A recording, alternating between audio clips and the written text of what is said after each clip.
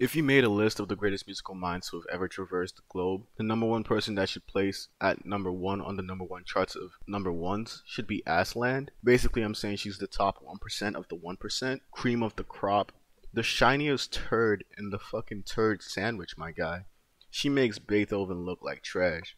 Her lyrical skills and flows make Biggie look like a fucking has-been. The way she rides a beat, she might as well put J. Cole out of business. Her singing voice reminds me of Drake from the Take Care album. Justin Timberlake and Usher go to Azzyland for voice lessons on Jaw. Azzyland is probably the greatest singer-songwriter ever, much better than Simon and Garfunkel, the Beatles, the Beach Boys, the Beastie Boys. Name any fucking band or any fucking musician with any shred of musical skill, like I don't know Elton John, Ray Charles.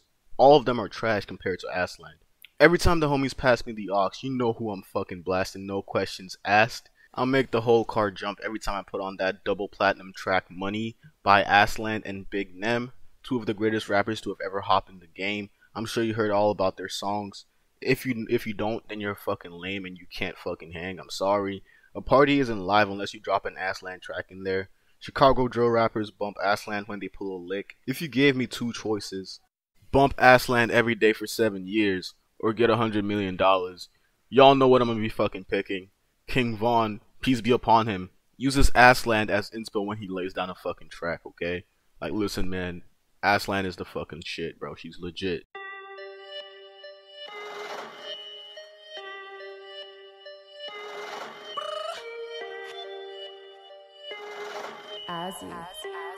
Big Nam.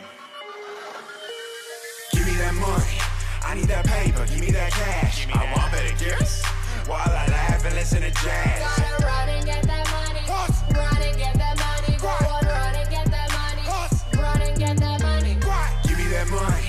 I need that paper, give me that cash. Give me that. Stop eating shit and start to eat out in class. Gotta run and get that money.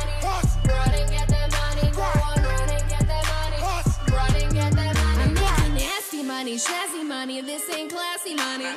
Pockets looking funny when you making money. Uh, and I'm gonna keep it 100. I can't lie to y'all. This track is probably the greatest steaming pile of dog shit I've ever had the misfortune of listening to.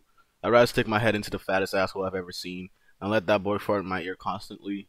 I'm sure this track was probably used to terrorize the Muslims in Guantanamo Bay. I can picture Mohammed bin al Hassad being tied up in an echo chamber and having to listen to this song on repeat for 24 hours straight while they fucking ask him where Osama bin Laden's hideout is. I'm gonna be fucking real here. I don't know whether to take this song seriously or to fucking laugh. A part of me really wishes she was trolling when she made this, but another part of me really doesn't think she was fucking trolling. You can just sense that she thought she broke the streaming records with this sack of shit. I honestly don't know what she was fucking thinking when she was dropping this. She probably thought that she fucking dropped the biggest banger of the century or some bullshit. She thought the song was gonna be at all the fucking block parties. Niggas was gonna be getting fucking turned up to this shit. Every time I see a white girl try and rap, Iggy Azalea or whatever her culture vulture ass name is comes to mind. Like, don't fucking do it, bro.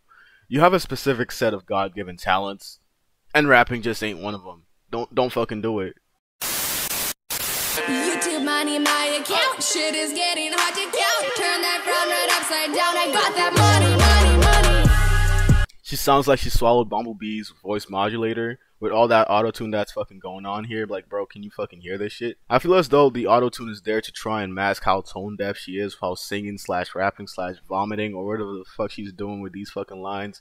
I've heard a group of toads be much more melodic than this fucking Azzyland chick. It seems like Jake Paul and Rice Gum really inspired a bunch of YouTubers to think that they are fucking musically inclined or some shit, bro. But the difference between Jake Paul and Rice Gum is that you can at least guess that they don't really believe they have that kind of musical talent. They're just doing it for the fucking views and, and you know, fucking dropping diss tracks on people and shit. Their music is part of their trashy ju- douchebag fucking persona. Jake and Rice can get a pass because every douchebag who wears Gucci, Fendi, Prada think that they're the next Juice WRLD or some shit.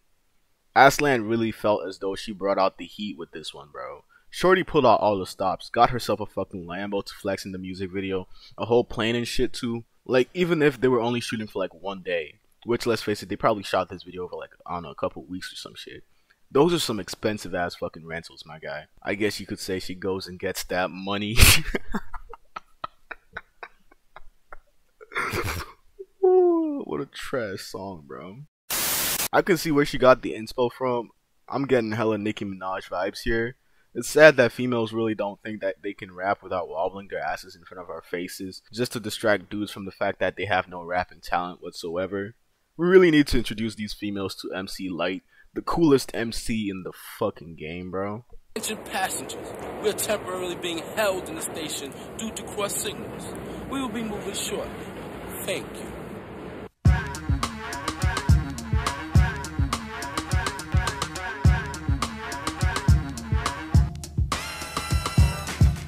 Say you love me, it doesn't matter. It goes into my head as just chit chatter. You may think it's egotistical or just very free, but what you say, I take none of it seriously. And even if I did, I wouldn't tell you so. I'd let you pretend to read me, and then you'd know. Cause I hate when one attempts to analyze. In fact, I despise those who even try to look into my eyes to see what I am thinking. That dream is over, your yacht is sinking. I tell all of you, like I told all of them, what you say to me is just paper thin. Word.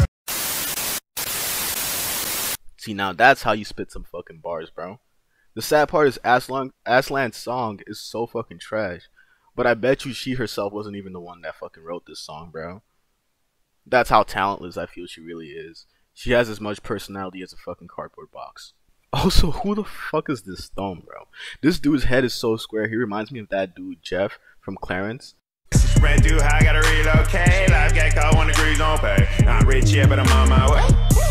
Cause a racket. If you got fans, then go stack 'em. If you got hands, go on clap 'em. Roads are hard, no Google Maps. Uh. Son. Grinding shit, grinding shit. I've been in the. Go and take a shower, bitch.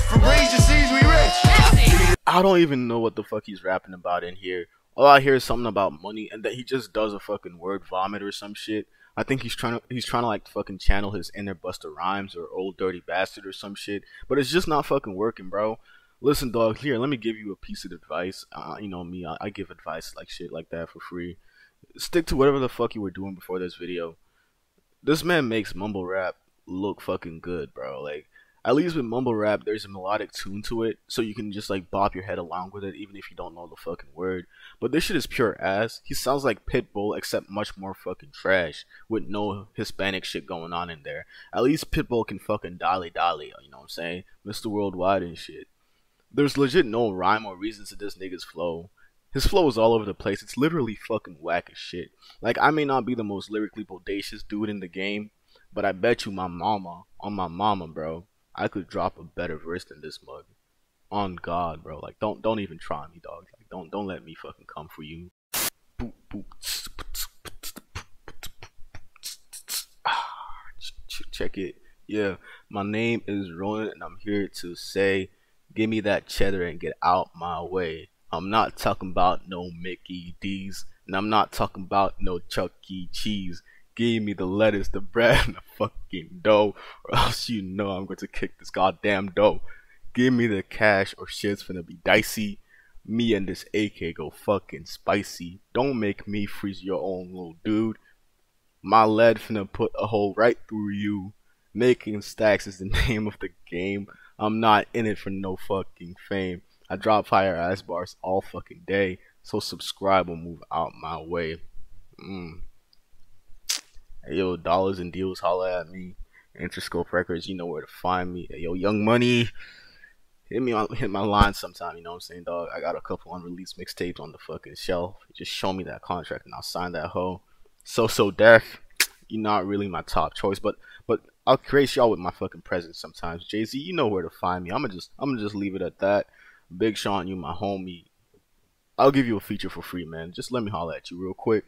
Drake, I'll write your whole fucking album for you. You don't even need to credit me, bro. Shit's on the house. I'm the hidden member of the fucking Wu Tang Clan with these bars, bro. 50k a line, 100k a feature. You know what I'm saying, bro? Don't don't, don't even fucking speak on my name. this has been your boy Ronan. Subscribe, like, share, retweet, whatever the fuck y'all like to do. That's it. See ya.